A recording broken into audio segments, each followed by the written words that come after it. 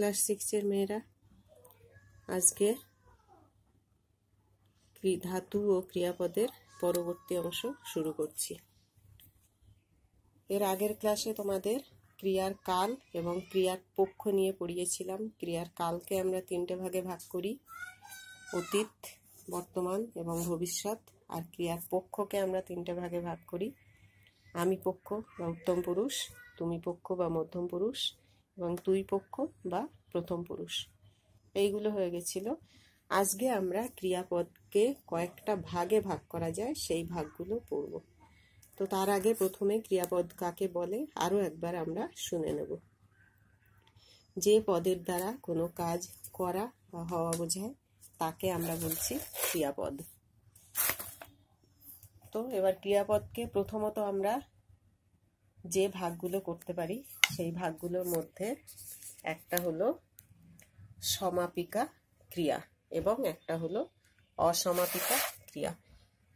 ক্রিয়াপদের ভাগগুলোর মধ্যে একটা সমাপিকা ক্রিয়া এবং একটা অসমাপিকা ক্রিয়া। তো প্রথমে আমরা সমাপিকা ক্রিয়া কাকে বলে? যে ক্রিয়ার দ্বারা আমরা যে কোনো কাজ সম্পূর্ণরূপে বুঝি তাকে বলা হচ্ছে সমাপিকা ক্রিয়া। আমি একটা বাক্যে উদাহরণ দিচ্ছি। আমি বাড়ি গিয়ে ভাত খাব। বাড়ি গিয়ে ভাত খাব। এখানে খাব একটা ক্রিয়াপদ আর গিয়ে একটা ক্রিয়াপদ। তো এখানে এই বাক্যটা সম্পূর্ণ করছে যা বা শেষ করছে যে ক্রিয়াপদ সেটা হলো খাব। এই খাব, এই ক্রিয়াপদটা বাক্য সম্পূর্ণ করছে।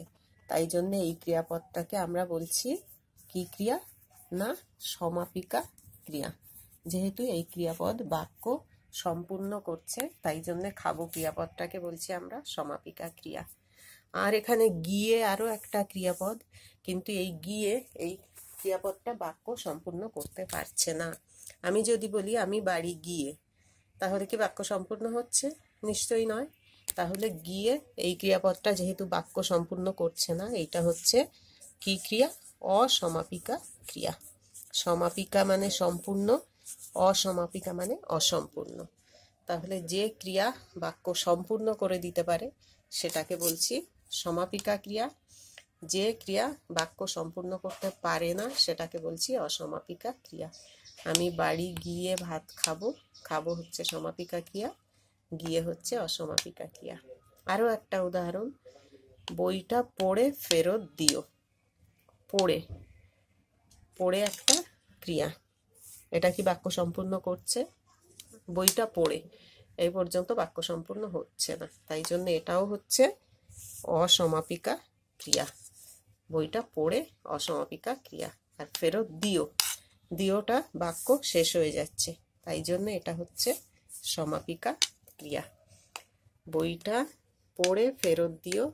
পড়ে হচ্ছে অসমাপিকা ক্রিয়া, দিও হচ্ছে সমাপিকা ক্রিয়া।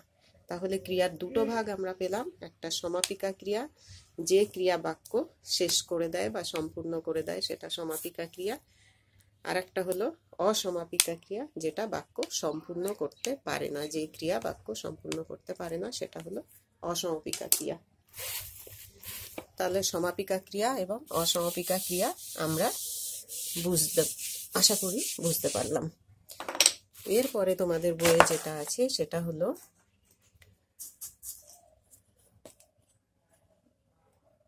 যৌগিক ক্রিয়া।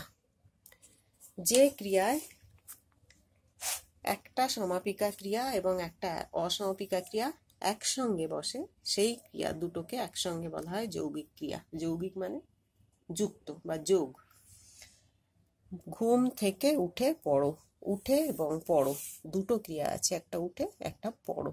এইটা হলো যৌগিক ক্রিয়া। সব রসগোল্লা খেয়ে ফেললে, খেয়ে এবং ফেললে, এখানে দুটো ক্রিয়া আছে। এইগুলোকে বলা হচ্ছে যৌগিক ক্রিয়া। উঠে অসমাপিকা ক্রিয়া, পড়ো সমাপিকা ক্রিয়া। খেয়ে অসমাপিকা ক্রিয়া, ফেললে সমাপিকা ক্রিয়া।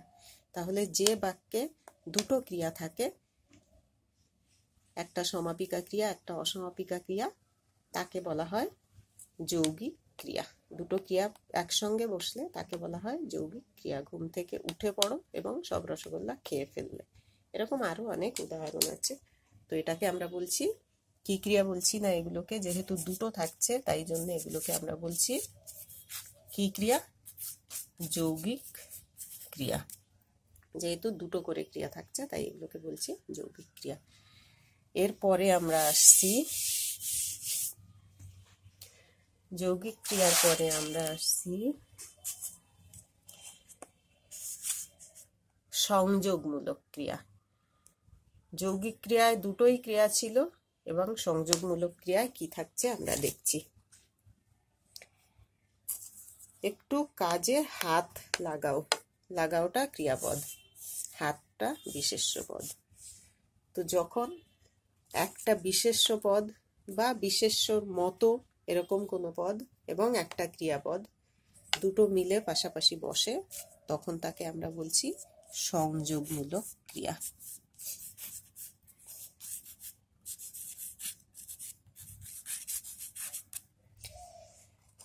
যখন বাক্যে একটি ক্রিয়ার সঙ্গে একটা বিশেষ্য পদ বা এটাকে বলা হয় নাম পদ বিশেষ্যর মতো ব্যবহারকারী পদ একটা ক্রিয়ার সঙ্গে একটা নাম পদ যুক্ত হয়ে বসে, তখন তাকে আমরা বলি সংযোগমূলক ক্রিয়া।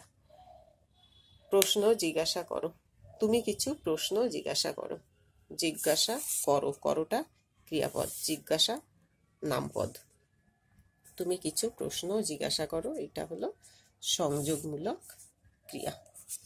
তাহলে যখন ক্রিয়া একটা ক্রিয়ার সঙ্গে আর একটা নামপদ যুক্ত হয়ে বসবে, তখন তাকে বলা হবে সংযোগমূলক ক্রিয়া। আর যখন দুটোই ক্রিয়া বসেছিল, একটা সমাপিকা, একটা অসমাপিকা, তখন আমরা তাকে কি বলেছিলাম? মনে আছে তোমাদের? সেটাকে আমরা বলছিলাম যৌগিক ক্রিয়া। এরপরে আমরা ক্রিয়ার যে ভাগটা পড়ব, সেটা হলো প্রযোজক ক্রিয়া। এরপরে যেটা পড়ব, সেটা হচ্ছে প্রযোজক ক্রিয়া।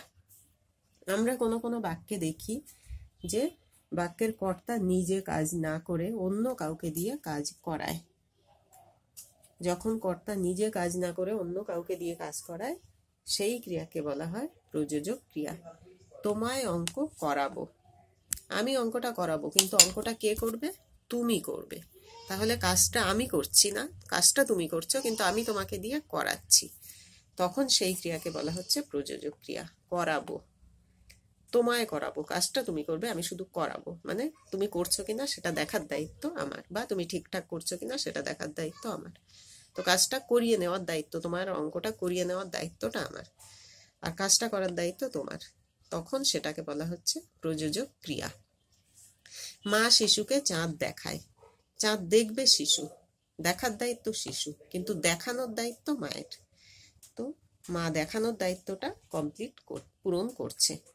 এইগুলোকে বজা, বলা হচ্ছে প্রযোজক ক্রিয়া। অর্থাৎ কর্তা যখন নিজে কাজ না করে অন্য কাউকে দিয়ে কাজ করায়, তখন আমরা সেটাকে বলছি, কি ক্রিয়া বলছি? প্রযোজক ক্রিয়া। কর্তা যখন নিজে কাজ না করে কাউকে দিয়ে কাজটা করাচ্ছে, তখন সেটাকে আমরা বলছি প্রযোজক ক্রিয়া। এরপরে তোমাদের বইয়ে যেটা আছে, সেটাকে আমরা বলব সকর্ম ক্রিয়া।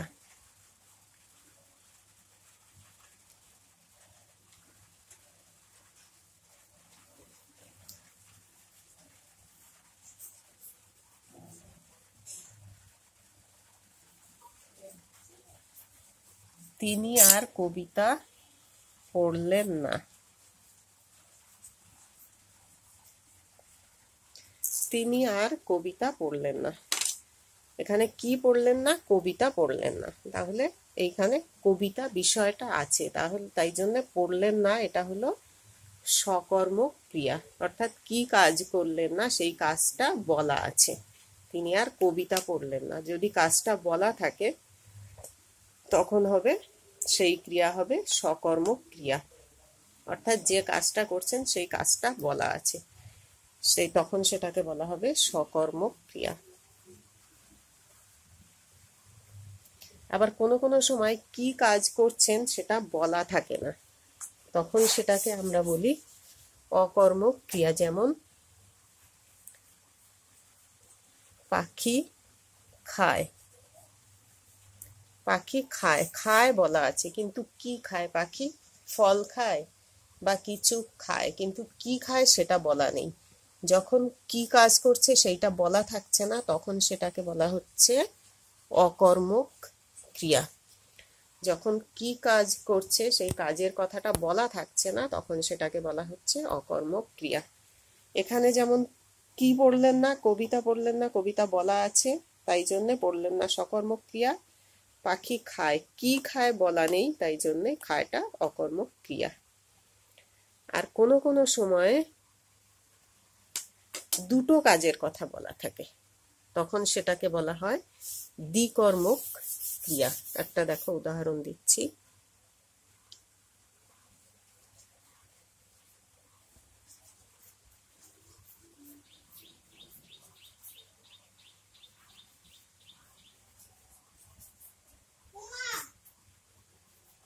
এখানে দেখো, তিনি আমাদের ব্যাকরণ পড়ান। তিনি আমাদের ব্যাকরণ পড়ান। পড়ান ক্রিয়াপদ। কি পড়ান? ব্যাকরণ পড়ান। একটা কাজ বোঝাচ্ছে। কাদের পড়ান? আমাদের পড়ান। তাহলে এখানে দুটো কাজের কথা বলা হচ্ছে। তিনি পড়ান। যদি বলা হতো তিনি পড়ান, এই দুটো বলা না হতো, তাহলে পড়ানটা কি ক্রিয়াপদ হতো? তিনি পড়ান।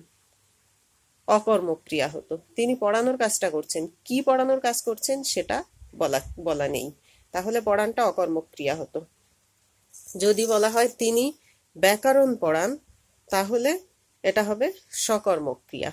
তিনি পড়ানোর কাজ করছেন। কি পড়ানোর কাজ করছেন? ব্যাকরণ পড়ানোর কাজ করছেন। তিনি আমাদের পড়ান। কাদের পড়ান? আমাদের পড়ান। তিনি পড়ানোর কাজটা কাদের জন্য করছেন? আমাদের জন্য করছেন। এটাও সকর্মক ক্রিয়া। এবার তিনি যখন দুটো বলা হচ্ছে, তিনি আমাদের ব্যাকরণ পড়ান, যখন দুজন, দুটো কাজের কথা আসছে মানে আমাদের পড়ান এবং ব্যাকরণ পড়ান। দুটো কাজ, তাই জন্য এটা দ্বিকর্ম ক্রিয়া। তিনি দুটো কাজ করছেন। এক ব্যাকরণ পড়ানোর কাজ করছেন, দ্বিতীয় আমাদের পড়ানোর কাজ করছেন। তাহলে এটাকে বলা হচ্ছে দ্বিকর্মক ক্রিয়া।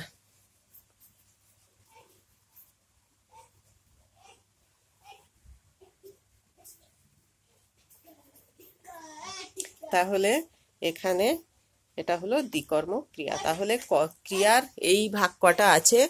প্রথম থেকে বলে দিচ্ছি একবার। যে ক্রিয়া বাক্য সম্পূর্ণ করে, সেটাকে আমরা বলছি সমাপিকা ক্রিয়া। যে ক্রিয়া বাক্য সম্পূর্ণ করে না, সেটা অসমাপিকা ক্রিয়া। যখন একটা সমাপিকা এবং একটা অসমাপিকা ক্রিয়া দুটো একসঙ্গে বসে, সেটাকে বলব আমরা যৌগিক ক্রিয়া। যখন একটা নাম পদ এবং একটা ক্রিয়াপদ একসঙ্গে বসে, সেটাকে বলব সংযোগমূলক ক্রিয়া। যখন কর্তা নিজে কাজ না করে অন্য কাউকে দিয়ে কাজটা করায়, তখন সেটাকে বলব প্রযোজক ক্রিয়া। যখন ক্রিয়া যে কোনো কাজ করে, সেই কাজের নামটা থাকে, তখন সেটাকে বলব সকর্মক ক্রিয়া। যখন কাজের নাম থাকে না, সে দেখে, সে শুধু দেখে, কাজের নাম থাকে না, সেটা বলব অকর্মক ক্রিয়া। আর যখন দুটো কাজ বোঝায় তখন সেটাকে বলব দ্বিকর্মক ক্রিয়া। তো তোমাদের ক্রিয়া এই পর্যন্তই আছে, এই পর্যন্তই পড়ালাম। এরপরে আবার নতুন চ্যাপ্টার যেদিন শুরু করব, সেদিন নতুন কিছু পড়াবো। আজকে এই পর্যন্ত।